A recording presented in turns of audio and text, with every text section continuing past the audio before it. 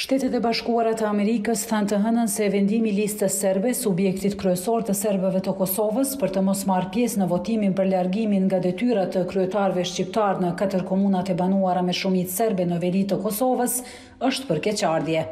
Ambasada amerikane në Prishtinë tha në një përgjigje për Zërin e Amerikës se është e rëndësishme që qytetarët e Kosovës të kenë mundësi të ushtrojnë të drejtën e tyre për të shkarkuar kryetarët në përputhje me ligjin në Kosovë. Në përgjigje thuhet se të gjithë qytetarët e regjistruar në veri të Kosovës kanë mundësi pjesëmarrjeje dhe është për keqardhje deklarata e Listës Serbe që do të tërhiqet nga pjesëmarrja në votimin për largimin e kryetarëve aktualë. Aty theksohet se pjesëmarrja demokratike siguron që udhëheqësit të jenë përfaqësues të popullsisë që i shërbejnë dhe se votimi është e drejtë thelbësore e shoqërive demokratike.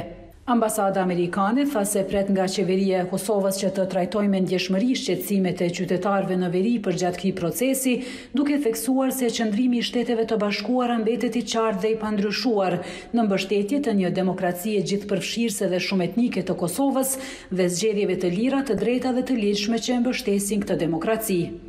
Kryetari i Listës Serbe Zllatan Elek akuzoi të dielën kryeministrin e Kosovës Albin Kurti se po bën përpjekje të vazhdueshme që ky votim të dështojë, ndërsa theksoi se një ndër arsyet e mospjesëmarrjes në të është edhe fryrja e listave të votuesve.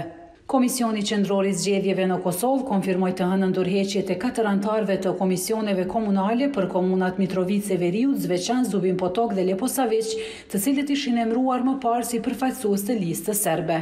Në një përgjigje të këtij institucioni thuhet se pas këtyre dorëheqjeve në Komisionet Komunale të Zgjedhjeve mbesin edhe njëzet e tre anëtarë nga subjektet politike, të cilët sipas ligjit do të administrojnë procesin e votimit nën mbikëqyrjen e Komisionit Qendror të Zgjedhjeve.